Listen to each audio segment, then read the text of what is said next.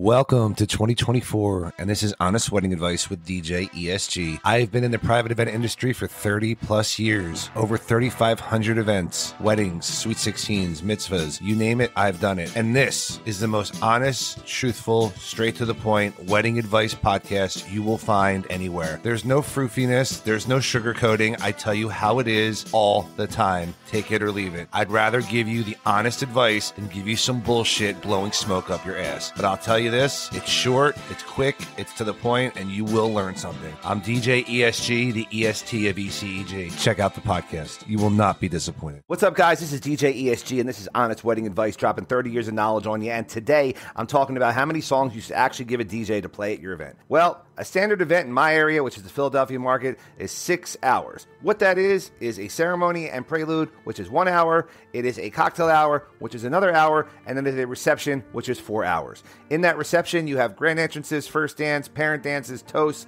salad, main course, cake cutting, that takes about an hour, hour and a half tops to kind of get that all together, depending upon how many people are there.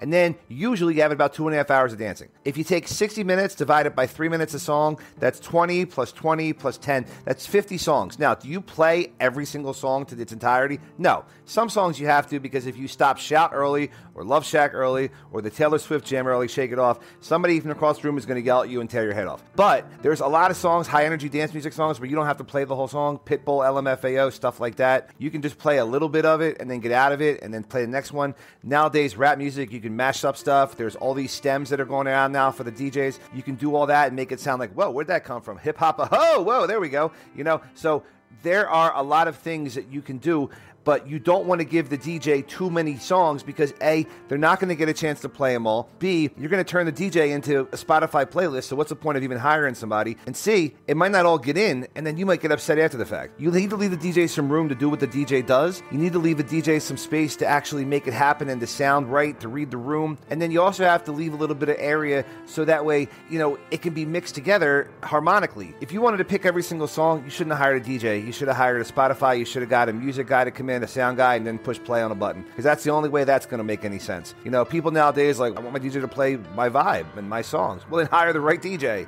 Don't hire some schmo. You know, make sure the DJ knows how to mix. Make sure the DJ knows how to put songs together. When you interview your DJ, get the vibe of your DJ. Figure out what that DJ wants to do, what that DJ likes to play. Now, granted, we all like different stuff. We're not going to all tell you this is what we play, what we only play, but you'll get a vibe from a sales meeting within 15 minutes. You'll get a vibe between listening to some of these mix within 10 minutes. You'll understand what this person's all about. You can look at a TikTok, Instagram, some kind of social video and say like, oh, can that guy mix? Can that guy not mix? Listen, I'll hold my mixer over my shoulder, spin around a couple times on the motorized platter, hit a couple buttons, stem it up, instrumental acapella, you know, back and forth, and you'll know right away that I know what I'm doing. All right. So just FYI, just look at it from this perspective. If you're going to hire a DJ, hire somebody that can make it happen for you, put songs together, and really light up your crowd with cool transitions, a great vibe, and stuff you never saw coming versus telling the DJ everything he's supposed to play, handcuffing him or her, hindering them, and pretty much micromanaging your entire party. You'll thank me later. I'm ESG. This is Honest Wedding Tips. Peace, love, and God above, and I'm out. Bye bye. Do you have the time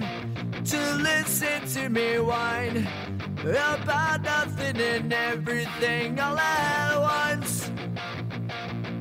I am one of those melodramatic fools neurotic to the bone, no doubt about it. Sometimes I give myself the creeps. Sometimes my mind plays tricks on me. It all keeps adding up. I think I'm cracking up. Am I just paranoid? Am I just up?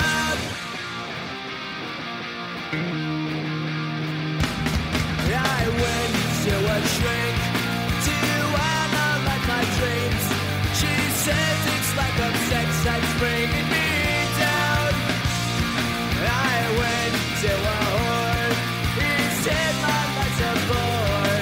Choke with my bringing down. Sometimes I give myself the creeps. Sometimes my